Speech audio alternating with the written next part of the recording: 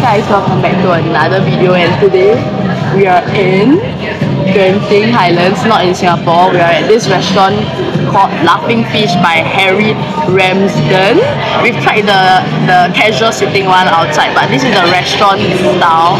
So I ordered a sea bass set, which is 49 ringgit, which comes with a drink. It's not very big, and then ordered one side of calamari and a sirloin steak to try. So we'll show you when the food comes. Can't wait because it seems quite nice, but don't know about food. So see you when the food comes.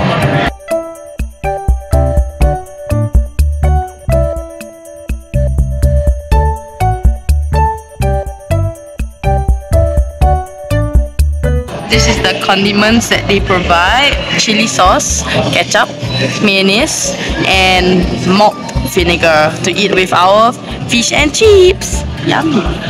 This is the drink that came with the set, 49 ringgit with a like calamansi fizzy drink. Very refreshing. Yummy. Here we have the sea bass. What? I'm surprisingly surprised. I'm surprisingly quite surprised by the size of it. So this with the drink is 49. This is the calamari. A few pieces but it's pretty thick. You can see how thick with one finger. 20 ringgit. Tartar sauce lemon. And we have a steak, 250 grams. This is 59. 9 ringgit, medium rare. So later she'll show you when she cuts. So let's start eating.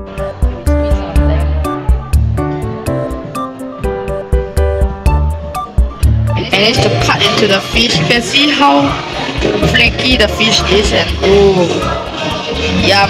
How's the beef? We asked for medium rare but okay lah. Eh not bad. Looks good. Ooh sexy. Let's eat. She said the knife is not sharp at all. So hard to cut into the steak. Either the steak is too tough I've tasted it. It's, it's not bad, but it's a bit tough to chew. But the fish is amazing. Let's start eating. So we have come to the end of our meal here at Laughing Fish. You can see we finished everything. Very clean. The drink was amazing. Fish and chips was amazing. Steak a bit tough, dry, a bit tough, dry. The chips though was quite nice because it's like very freshly made. So it's like outside was crispy, inside was like soft and mushy, like a real potato. Delicious.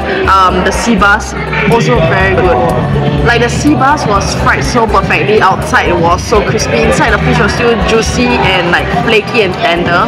But the only thing I didn't like it was the curry sauce, which no no for me. Okay, so for overall rating, I would definitely come here again, but only for the seafood. Because the calamari was also amazing, like thick cut and then fried perfectly. So I will overall rate this place like 8 out of 10. Why come back maybe for the fish and the seafood, not for the But yeah, that's it for this video. Thank you for watching. I hope you like what I show. It's a quick short film of this place here. Uh, do remember to give a like, subscribe, comment down below which seafood do you like.